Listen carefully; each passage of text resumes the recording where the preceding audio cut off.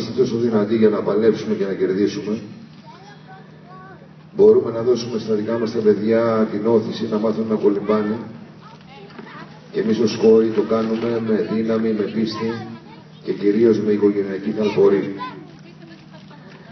Επιπλέον πρέπει και επιβάλλεται για να ελπίζουμε να ξεπερνάμε τα εμπόδια και τα αναβάλλοντα.